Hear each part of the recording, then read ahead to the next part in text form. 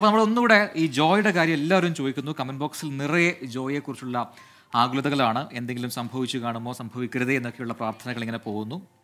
ഇതാ സിന്ധു കേസ് പറയുന്നു പാവങ്ങളുടെ ജീവൻ ഒരു വിലയും അധികാരികൾ കൊടുക്കുന്നില്ല. എല്ലാവരും പണത്തിന്റെയും നേട്ടങ്ങളുടെയും ക്രെഡിറ്റിന്റെയും പുറകെ പോകുന്നു എന്ന് കുറ്റപ്പെടുത്തുകയാണ് സിന്ധു കേസ് അപ്പം സജി മാങ്കോട് പറയുന്നുണ്ട് ജോയിയുടെ കുടുംബത്തോടൊപ്പം ലക്ഷക്കണക്കിന് പ്രേക്ഷകർക്കൊപ്പം ഞാനും പ്രാർത്ഥിക്കുന്നു ജോയിയുടെ തിരിച്ചുവരവിനായി എന്ന് പറയുന്നു. അപ്പം ആമിന നമ്മുടെ സ്ഥിരം പ്രേക്ഷകയാണ് പറയുന്നുണ്ട് പ്രജൻ പ്രവിത ഇന്ന് പാട്ട് വേണ്ട എന്ന് പറയുന്നുണ്ട്. തീർച്ചയായും ഈ വാർത്തയുടെ ആ ഒരു പ്രാധാന്യം മനസ്സിലാക്കിക്കൊണ്ട് തന്നെയാണ് നമ്മൾ ഇവിടെ നിൽക്കുന്നത് അപ്പോൾ നമുക്ക് ആ വാർത്തയുടെ തന്നെ കൂടുതൽ വിശദാംശങ്ങളിലേക്ക് പരമേശ്വരൻ ഭാസ്കരൻ കർത്ത പറയുന്നു റോബോട്ടിക്സ് അല്ലെങ്കിൽ റോബോട്ട്സിനെ ഉപയോഗിച്ച് എല്ലാ മാസവും ഇനി ആമിരഞ്ചാം തോട് വൃത്തിയാക്കിക്കൂടെ? അതിന് ചെലവാകുന്ന തുക ഒരു പാഴ്ചെലവാണോ? എന്ന് ചോദിക്കുന്ന ഒരു നല്ല ചോദ്യവും നല്ല നിർദ്ദേശവുമാണ്. അത് അധികാരികൾ കേൾക്കട്ടെ. നോക്കാം നമുക്ക് എന്തായാലും.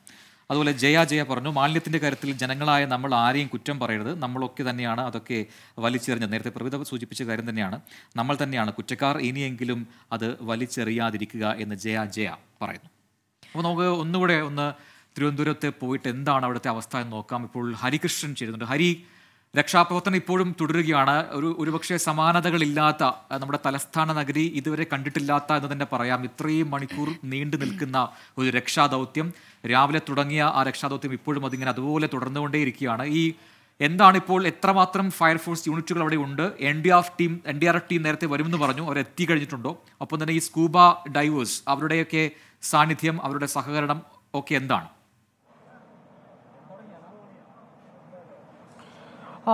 പ്രജിൻ പ്രവിത ഈ ഇപ്പം ഈ രക്ഷാദൌത്യം അത് പുരോഗമിക്കുകയാണെന്നുള്ളതാണ് ഏറ്റവും പ്രധാനപ്പെട്ട കാര്യം. അതായത് ഈ റോബോട്ടിക് സാങ്കേതിക വിദ്യയുടെ സഹായത്തോടു കൂടി രക്ഷാദൌത്യം പുരോഗമിക്കുന്നു. പക്ഷേ വളരെ മന്ദഗതിയിലാണ് ഈ മാലിന്യങ്ങൾ കോരിമാറ്റാൻ കഴിയുന്നത് എന്നുള്ളതാണ്. കാരണം ഈ റോബോട്ടിക് സാങ്കേതിക വിദ്യ എന്ന് പറയുന്നത് ഇതിനായി ഈ രൂപപ്പെടുത്തിയ രൂപപ്പെടുത്തിയൊന്നല്ല അതായത് ഒരു ഒരാൾക്ക് ഇറങ്ങാൻ കഴിയുന്ന മാൻഹോളിൽ അതിൽ ഈ വേസ്റ്റുകൾ മാറ്റുന്നതിന് വേണ്ടിയിട്ട് ഉപയോഗിച്ചാണ്. അപ്പോൾ അതിന് അതിന്റെതായ ഒരു കപ്പാസിറ്റി ഉണ്ട്. അതുകൊണ്ട് വളരെ മന്ദഗതിയിൽ മാത്രമാണ് ഈ മാലിന്യങ്ങൾ കോരിമാറ്റാൻ സാധിക്കുന്നത് എന്നുള്ളതാണ്. എങ്കിലും ഈ തരത്തിൽ മാലിന്യങ്ങൾ മാറ്റാൻ അതുകൊണ്ട് കഴിയുന്നുണ്ട് എന്നുള്ളതാണ് ഏറ്റവും പ്രധാനപ്പെട്ട കാര്യം. ഈ പറയുന്ന പോലെ വെല്ലുവിളി എന്ന് പറയുന്നത് ഒരാൾ ഈ വെളിച്ചക്കുറവുള്ള ഈ സമയത്ത് അത് മാത്രമല്ല രാത്രി ട്രെയിനുകൾ വന്നും പോയിരിക്കുന്ന തമ്പാനൂർ റെയിൽവേ സ്റ്റേഷൻ പോലെയുള്ള ഒരു ഇടത്ത് ഒരു പ്രായോഗികമായും ഒരാളെ അതിനകത്തേക്ക് ഇറക്കുക എന്ന് പറയുന്നത് ഒട്ടും പ്രായോഗികമല്ല എന്നുള്ളതാണ്. കാരണം അതിനകത്ത് ഈ വൈകുന്നേരം തന്നെ നമുക്ക് മനസ്സിലായ ഒരു കാര്യം സ്കൂബ ടീമൊക്കെ നമ്മളോട് പറഞ്ഞൊരു പ്രധാനപ്പെട്ട കാര്യം അതിനകത്ത് നിറയെ ഈ ചെളിയും മാലിന്യവുമാണ് മാത്രമല്ല ഇരുട്ടുമാണ്. അത് വലിയ വെല്ലുവിളിയാണ്. അത്തരമൊരു ഒരു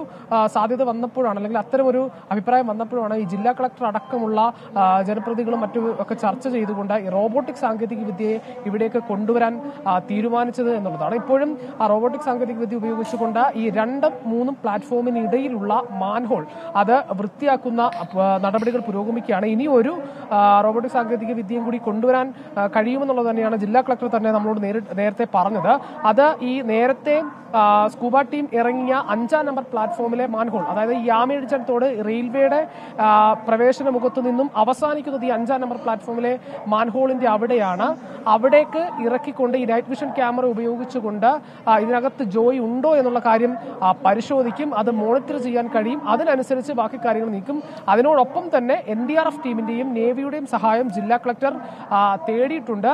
അത് അത് അതിൽ ഒരു പോസിറ്റീവായ കാര്യം അവർ എത്തുമെന്ന് തന്നെയാണ്. പക്ഷേ ഇതുവരെയും എത്തിയിട്ടില്ല എന്നുള്ളതാണ് നമുക്ക് മനസ്സിലാക്കാൻ സാധിക്കുന്നത്. അവർ കൂടി വന്നു കഴിഞ്ഞാൽ ഈ രക്ഷാദൗത്യം അത് നീളും പുരോഗമിക്കും എന്നുള്ളത് തന്നെയാണ്. എന്തായാലും രാത്രി മുഴുവനും ഒരുപക്ഷെ ഈ രക്ഷാദൗത്യം നീളുന്നതിനാണ് സാധ്യത നമ്മളിപ്പോൾ കാണുന്നത്. കാരണം അത്രയധികം മാലിന്യങ്ങൾ ഈ ഇതിനടിയിൽ ഈ അമിഴിഞ്ചാൻ തോടിന്റെ ഈ റെയിൽവേ പ്ലാറ്റ്ഫോമിനടിയിൽ ആ ടണലിനുള്ളിൽ ഉണ്ട് എന്നുള്ളതാണ്. ശരി ഹരി തുടരുക ഇപ്പോൾ അലക്സ് കൂടി ചെയ്യുന്നുണ്ട്. അലക്സ് ഇതിപ്പോൾ അവിടുത്തെ രക്ഷാദൗത്യത്തിനെ കുറിച്ച് വിശദമായി നമ്മൾ അറിഞ്ഞു കഴിഞ്ഞു. പക്ഷേ അപ്പോഴും ഒരുപക്ഷെ വൈകി വന്ന പ്രേക്ഷകരും ഇപ്പോൾ മാത്രം ഈ വാർത്ത അറിയുന്ന ആൾക്കാർക്കും വേണ്ടി ചോദിക്കുകയാണ്. അതായത് ഇങ്ങനെയൊരു അപകടം അവിടെ എങ്ങനെ നടന്നു എന്നുള്ളതാണ്. നേരത്തെ രക്ഷാപ്രവർത്തനം തുടങ്ങുന്ന ആ സമയത്ത് പോലും അവിടെ താഴേക്ക് ഇറങ്ങി അല്ലെങ്കിൽ ആ തോട്ടിലേക്ക് ഇറങ്ങി നിൽക്കുന്ന ആൾക്കാരുടെ മുട്ടിന് താഴെ മാത്രമേ വെള്ളം ഉണ്ടായിരുന്നുള്ളൂ. അപ്പോൾ ഒരാൾ ഒഴുകിപ്പോകാൻ മാത്രമുള്ള ശക്തിയായ വെള്ളം അത് എപ്പോൾ എങ്ങനെ വന്നു? അങ്ങനെ മുൻപ് ഉണ്ടാകാറുണ്ടോ? എന്തുകൊണ്ടാണ് ആ സമയത്ത് ഇങ്ങനൊരു ശുചീകരണത്തിനായി ജോയ് അവിടെ ഇറങ്ങി? ജോയും മറ്റുള്ളവരും ഉണ്ടാവുമല്ലോ കൂടെ. അപ്പോൾ അതിനെയൊക്കെ ഒരു വിശദാംശം എന്താണ്? ഈ യഥാർത്ഥത്തിൽ സംഭവിച്ചത് എന്താണ് അലക്സ് അവിടെ?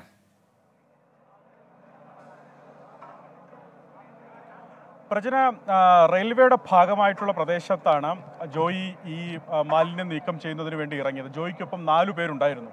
രാവിലെ പത്തര മണിക്കാണ് അദ്ദേഹവും ഈ നാലുപേരും ഇറങ്ങുന്നത്. മൂന്ന് പേരാണ് ഈ ആമയിഴഞ്ചാൻ തോട്ടിനുള്ളിൽ ഇറങ്ങുന്നത്. അദ്ദേഹം അവിടെ നിന്ന് മാലിന്യം നീക്കം ചെയ്യുന്നതിന് വേണ്ടി ഇറങ്ങുമ്പോൾ നമ്മൾ ദൃശ്യങ്ങളിൽ കണ്ടതുപോലെ ആയിരുന്നില്ല ആമയിഴഞ്ചാൻ തോടിന്റെ അവസ്ഥ. അവിടെ വലിയ തോതിൽ മാലിന്യ നിക്ഷേപം ഉണ്ടായിരുന്നു. പ്ലാസ്റ്റിക് അടക്കമുള്ള മാലിന്യത്തിന്റെ നിക്ഷേപം ഉണ്ടായിരുന്നു. ഈ നഗരത്തിലെ ഈ തിരുവനന്തപുരം നഗരത്തിലെ ആകെ മാലിന്യം എത്രയാണ് എന്ന് നമുക്ക് കണക്ക് കൂട്ടാൻ സാധിക്കും. അതിന്റെ ആകത്തുക ആ ആമഴിഞ്ചൻ തോട്ടിലുണ്ടായിരുന്നു. അതുമാത്രമല്ല കഴുത്തറ്റം വെള്ളം അവിടെ ഉണ്ടായിരുന്നു എന്നുള്ളതാണ് പ്രധാനപ്പെട്ട കാര്യം. ആമഴിഞ്ചൻ തോട്ടിൽ അപ്പോൾ കഴുത്തറ്റം വെള്ളം ഉണ്ടായിരുന്നു. തിരുവനന്തപുരത്ത് കഴിഞ്ഞ ദിവസങ്ങളിലും ഇന്ന് രാവിലെയും ഒക്കെയായി മഴയുണ്ടായിരുന്നു എന്നുള്ള കാര്യം പ്രത്യേകം ശ്രദ്ധിക്കണം. തിരുവനന്തപുരം നഗരത്തിൽ മഴ പെയ്ത് കഴിഞ്ഞു കഴിഞ്ഞാൽ ആ മഴവെള്ളം ഒഴുകി പോകേണ്ടത് ആമയിഴഞ്ചാൻ തോട്ടിനുള്ളിലൂടെയാണ്. ആമയിഴഞ്ചാൻ തോട്ടിനുള്ളിലൂടെയാണ് പാർവതി പുത്തനാറിൽ പോയി അവിടെ നിന്ന് കടലിലേക്ക് പോകുന്നത്. അങ്ങനെയാണ് ആ മഴവെള്ളം ഇവിടെ നിന്ന് ഒഴുകി പോകേണ്ടത്. ഈ നഗരത്തിലെ വെള്ളക്കെട്ടിന്റെ പ്രധാനപ്പെട്ട കാരണങ്ങളിലൊന്ന് ആമയിഴഞ്ചാൻ തോട്ടിലെ മാലിന്യ നിക്ഷേപമാണ് അതായത് ആ ഒഴുക്ക് സുഗമമാകാതെ വെള്ളം പോകാത്തത് കൊണ്ട് ഈ വെള്ളക്കെട്ടുണ്ടാകുന്നതാണ് തിരുവനന്തപുരം നഗരത്തിന്റെ ഈ വെള്ളക്കെട്ടുണ്ടാകുന്നതിന്റെ പ്രധാനപ്പെട്ട കാരണം. മഴ പെയ്ത് കാര്യമായി നിന്ന് മഴ പെയ്ത് കഴിഞ്ഞ് കഴിഞ്ഞാൽ നഗരം വെള്ളത്തിനടിയിലാകും. കടകളിൽ വെള്ളം കയറും. ആളുകൾ യാത്രാ സംവിധാനം ദുഷ്കരമാകും. അങ്ങനെ ജനജീവിതത്തെ തന്നെ ബാധിക്കുന്ന തരത്തിലേക്ക് അത് മാറും. ഇതാണ് ആമുഖമായി പറയാനുള്ളത്. അപ്പം ഇതിന് മുന്നോടിയായി അതായത് മഴക്കാലപൂർവ ശുചീകരണ പ്രവർത്തനത്തിന്റെ ഭാഗമായി തന്നെ നഗരത്തിനുള്ളിലെ ഓടകൾ വൃത്തിയാക്കണം. അത് നഗരസഭയ്ക്ക് കീഴിലുള്ള ഓടകൾ നഗരസഭ വൃത്തിയാക്കും വൃത്തിയാക്കി ആ പ്രവർത്തനം അവർ പുരോഗ നടത്തി. അതുമാത്രമല്ല ഇനി ഇനി റെയിൽവേ റെയിൽവേ അധികാരം കൈയാളുന്ന പ്രദേശങ്ങളിൽ അത് റെയിൽവേയുടെ കടമയാണ്. വർഷാവർഷങ്ങളായി റെയിൽവേയാണ് ആ ഇടങ്ങളിൽ ഈ ജോലികൾ ചെയ്തുകൊണ്ടിരുന്നത്.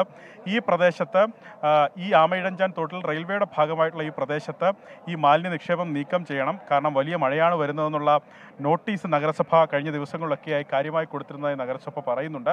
പക്ഷേ ആ പ്രവർത്തനം വൈകിപ്പോയി എന്നുള്ളതാണ്. കഴിഞ്ഞ ജൂൺ പത്തൊൻപതിനടക്കം കൊടുത്ത നോട്ടീസ് നഗരസഭ ഇന്ന് പുറത്തുവിട്ടിട്ടുണ്ട്. കാരണം ആദ്യഘട്ടത്തിൽ ഈ വിവരം പുറത്തു വരുമ്പോൾ നഗരസഭയുടെ കരാർ ജീവനക്കാരനാണ് ഈ ജോയ് എന്ന തരത്തിലാണ് വിവരം പുറത്തു വന്നത്. അതല്ല അതിന് പകരം റെയിൽവേ കഴിഞ്ഞ ദിവസം മൂന്ന് ദിവസം മുമ്പാണ് റെയിൽവേ കരാർ ഏൽപ്പിച്ച ജീവനക്കാരൻ ഈ പ്രവർത്തനം ആരംഭിക്കുന്നത്.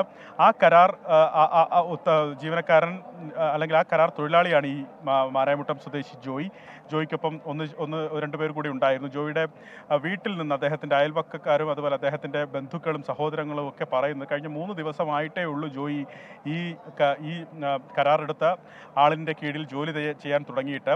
അതുവരെ ജോയിക്ക് ആക്രി കച്ചവടമായിരുന്നു. അക്രു പെരുക്കി ജീവിക്കുന്ന ഒരാളായിരുന്നു കൂടുതൽ ശമ്പളം കിട്ടുമെന്ന് പ്രതീക്ഷിച്ചാണ് ഈ മാലിന്യം നീക്കം ചെയ്യുന്നതിന് വേണ്ടി ആമയിടഞ്ചാൻ തോട്ടിലിറങ്ങി അത്രയും നഗരത്തിലെ ഏറ്റവും മോശപ്പെട്ട മാലിന്യം വരുന്ന ആ ജോലി ചെയ്യുന്നതിന് വേണ്ടി അദ്ദേഹം ശമ്പളം മാത്രം ആഗ്രഹിച്ചെത്തിയതാണ്. കാരണം വീട്ടിൽ ജോയിയും ജോയിയുടെ മാതാവും മാത്രമേ ഉള്ളൂ. ആ വീട്ടിലെ കാര്യം നോക്കേണ്ടത് ജോയിയാണ്. നാൽപ്പത്തിരണ്ട് വയസ്സുണ്ട് അവിവാഹിതനാണ് അദ്ദേഹം. അത് വീട്ടിൽ നിന്നുള്ള വിവരമാണ്. രാവിലെ നാലര മണിയോടുകൂടി അദ്ദേഹം വീട്ടിൽ നിന്ന് ഇറങ്ങിയതാണ്. വൈകുന്നേരം നാലര അഞ്ച് മണിക്കുള്ളിൽ അദ്ദേഹം വീട്ടിലേക്ക് എത്തും എന്നും പ്രതീക്ഷിച്ചിരുന്നതാണ്. അതിനിടയിലാണ് പത്തര മണിക്ക് ഈ അദ്ദേഹം വെള്ളത്തിലിറങ്ങുകയും അവിടെ നിന്ന് അദ്ദേഹത്തോട് അദ്ദേഹത്തിന്റെ കൂടെ ഉണ്ടായിരുന്നവർ കയറു കൂടുതൽ വെള്ളമാണ് ഒഴുക്കുണ്ട് എന്ന് അവരോട് അദ്ദേഹത്തോട് പറഞ്ഞിരുന്നതായാണ് നമുക്ക് ലഭിക്കുന്ന വിവരം. പക്ഷേ അദ്ദേഹം കയറുന്നതിനിടയ്ക്ക് അദ്ദേഹം അദ്ദേഹത്തിന് അത് സാധിച്ചില്ല. പകരം അദ്ദേഹം ഒഴുക്കിൽപ്പെടുകയായിരുന്നു എന്നാണ് മനസ്സിലാക്കുന്നത്.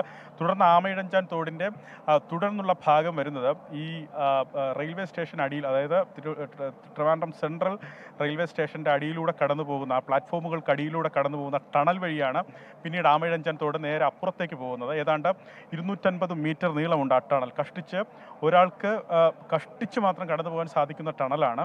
ആ ടണലിനുള്ളിലേക്ക് അദ്ദേഹം പെട്ടുപോയിട്ടുണ്ടെന്നാണ് നിഗമനം. ആ ടണൽ തുറന്നുള്ള പരിശോധനകളാണ് ഈ ഘട്ടത്തിൽ പുരോഗമിക്കുന്നത്. ഇതിൽ സ്കൂബ സംഘം ഫയർഫോഴ്സിന്റെ സ്കൂബ സംഘം ഫയർഫോഴ്സ് അതുപോലെ നഗരസഭയിലെ ശുചീകരണ വിഭാഗം ജീവനക്കാരൊക്കെ ആ സമയത്ത് തന്നെ അവിടെ എത്തി ഈ പ്രവർത്തനങ്ങൾ ആരംഭിച്ചതാണ്. അവിടെ നിന്ന് മാലിന്യം നീക്കം ചെയ്യുന്ന പ്രവർത്തികൾ ആദ്യഘട്ടത്തിൽ ആരംഭിച്ചു. വലിയ തോതിൽ മാലിന്യ നിക്ഷേപം നീക്കം ചെയ്തതിന് ശേഷമാണ് അവിടെ നിന്ന് ആ കഴുത്തറ്റം ഉണ്ടായിരുന്ന വെള്ളം ഒഴുകിപ്പോയി. അത് മുട്ടോളമായത്. അതാണ് പ്രേക്ഷകരോട് പറയാനുള്ളത്. അതിനുശേഷം മാത്രമാണ് ആ വെള്ളം മുട്ടോളമായത്. അതുവരെ ആ വെള്ളം കൂടുതലായിരുന്നു. അതിനുശേഷം ഒരു ഒരു ഒരു ഗ്രിൽ ഒരു ഇരുമ്പ് ഗ്രിൽ കൊണ്ടുവന്ന് ഏതാണ്ട് ഈ മൂന്നാം ട്രാക്കിനടുത്തുള്ള മാൻഹോൾ തുറന്ന് ആ ഇതിന് അകത്തേക്ക് ഈ മാൻഹോളിനകത്തേക്ക് ആ ഗ്രില്ല് കടത്തി വെക്കുകയായിരുന്നു. കാരണം ആ ഒഴുക്ക് കൊണ്ട് ഒരുപക്ഷെ ജോയി താഴേക്ക് പോകാതിരിക്കാൻ വേണ്ടിയാണ് ആ സമയത്ത് രക്ഷാപ്രവർത്തകർ അങ്ങനെ ചെയ്തത്. ഇവിടെ നിന്ന് ആ തുടക്കം വരെ ഏതാണ്ട് എൺപത് മീറ്ററോളം ഉണ്ട്. അതിൽ നാൽപ്പത് മീറ്റർ ആ തുടക്ക ഭാഗത്ത് നിന്ന് സ്കൂബ സംഘം അകത്തേക്ക് കയറി പ്ര- പരിശോധിച്ചു കഴിഞ്ഞു. നാൽപ്പത് മീറ്റർ പരിശോധിച്ചിട്ടും കണ്ടെത്താൻ സാധിച്ചിട്ടില്ല. പിന്നെയുള്ള ഒരു നാൽപ്പത് മീറ്റർ ഉണ്ട്. അത് നമ്മൾ ഈ ദൃശ്യങ്ങളിൽ കാണുന്ന മൂന്നാം ട്രാക്കിലെ ഈ പ്രധാനപ്പെട്ട മാൻഹോൾ തുറന്നിരിക്കുന്ന ഈ ഭാഗത്ത് നിന്ന് ആ, ആമിഴഞ്ചാൻ തോടിന്റെ ആ തുടക്ക ഭാഗത്തേക്കാണ് ഒരു നാൽപ്പത് മീറ്റർ ആ നാൽപ്പത് മീറ്ററിനുള്ളിൽ ജോയി ഉണ്ടാകും. ജോയിയുടെ ജീവൻ അവശേഷിക്കുന്നുണ്ടാകും എന്ന കണക്കുകൂട്ടലാണ് ഈ രക്ഷാപ്രവർത്തകർക്കുള്ളത്.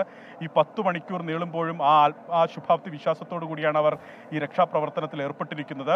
പ്രജിൻ ഒന്നാം മണിക്കൂർ മുതൽ ഈ രക്ഷാപ്രവർത്തനത്തിൽ ഏർപ്പെട്ടിരിക്കുന്ന ജീവനക്കാരുണ്ട്. അറുപത്തിയഞ്ച് നഗരസഭാ ജീവനക്കാർ ഇതിന്റെ ഭാഗമാകുന്നുണ്ട്. ഡിവൈഎഫ്ഐ പ്രവർത്തകരുണ്ട്. അതുപോലെ ഈ റോബോട്ടിക്സ് സംവിധാനം ജെൻ റോബോട്ടിക്സിന്റെ ജീവനക്കാരുണ്ട്. അവർ ഈ യന്ത്രക്കൈ കൊണ്ടുവന്ന് നേരെ താഴേക്ക് ഇറക്കിയാണ് അവർ ഈ മാലിന്യം കോരുന്നത്. ആ മാലിന്യ നിക്ഷേപം അവർക്ക് നേരെ താഴേക്ക് ഇറക്കി മാത്രമേ കോരാൻ സാധിക്കുകയുള്ളൂ ശരി അലക്സ്. എന്തായാലും അലക്സ് കൃത്യമായി തന്നെ എന്താണ് അവിടെ സംഭവിച്ചത്? എങ്ങനെയാണ് ഈ അപകടം ഉണ്ടായെന്ന കാര്യം പറഞ്ഞു. ഒപ്പം ജോയിയുടെ പശ്ചാത്തലം പറഞ്ഞു. ജോയുടെ കുടുംബ പശ്ചാത്തലത്തെക്കുറിച്ച് കുറേ പ്രേക്ഷകർ ചോദിക്കുന്നുണ്ടായിരുന്നു. അലക്സ് അതും കൂടി വ്യക്തമാക്കിയിട്ടുണ്ട്. ഇപ്പോഴും തുടരുന്ന ഏതാണ്ട് അറുപത്തി അഞ്ചോളം നഗരസഭാ ജീവനക്കാരും ഒപ്പം ഫയർഫോഴ്സ് ടീം അംഗങ്ങളും മറ്റ് സന്നദ്ധ സംഘടനകളും ഡിവൈഎഫ്ഐ അടക്കമുള്ള യുവജന സംഘടനകളും എല്ലാം അവിടെ ഒത്തുചേർന്ന് ശ്രമിക്കുകയാണ്. ഇപ്പോഴും ജോയ് എവിടെയാണ് എവിടെയെങ്കിലും തങ്ങിക്കിടക്കുകയാണോ എന്നൊന്നും എന്നൊന്നും ഇപ്പോഴും പറയാൻ സാധിക്കുന്നില്ല. അത്രമാത്രം മാലിന്യം എന്ന് പറയുമ്പോൾ നമ്മുടെ നമ്മുടെ എന്താണ് പറയുക നമുക്കത് സങ്കല്പിക്കാൻ പോലും കഴിയാത്ത അത്രയും മാലിന്യം അവിടെ അടിഞ്ഞുകൂടിയിട്ടുണ്ട് എന്നതാണ് വാസ്തവം. ഇപ്പോഴും അത് നീക്കിക്കൊണ്ടിരിക്കുകയാണ്. തിരികെ നമുക്ക് വാർത്തകളിലേക്കും മറ്റു റിപ്പോർട്ടുകളിലേക്കും എത്താം. ഒരു ചെറിയ ഇടവേളയ്ക്ക് ശേഷം. ലോകത്തെവിടെയായാലും ഏത് സമയത്തും ട്വന്റി ഫോർ വാർത്തകളും ഓഗ്മെന്റഡ് റിയാലിറ്റി പാക്കേജുകളും എക്സ്പ്ലെയിനറുകളും വിശദമായി കാണാൻ ഞങ്ങളുടെ യൂട്യൂബ് ചാനൽ നിങ്ങൾക്ക് സബ്സ്ക്രൈബ് ചെയ്യാം.